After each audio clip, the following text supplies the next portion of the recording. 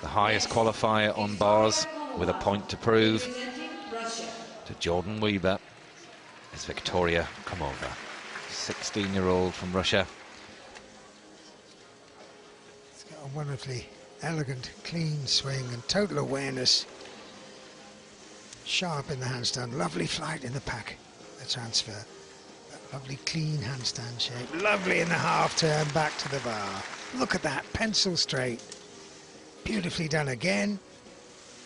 Clean in the straight. Jaeger Salto catches it nicely. Leisurely in the full turn.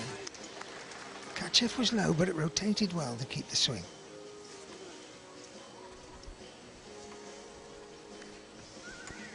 This very important to her.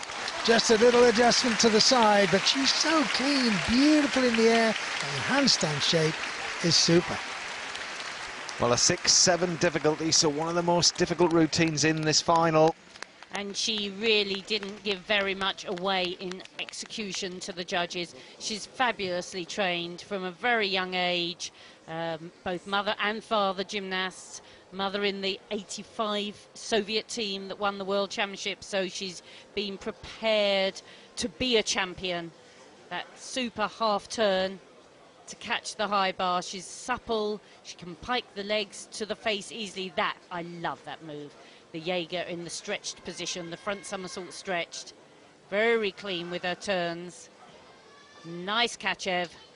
Doesn't go for anything too complicated, just really clean work, technically great, high above the bar as she dismounts. Beautiful. That could be a champion.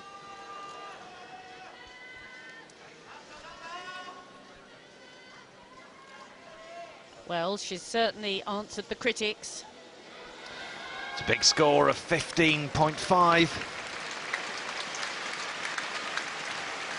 without doubt puts her ahead of Douglas.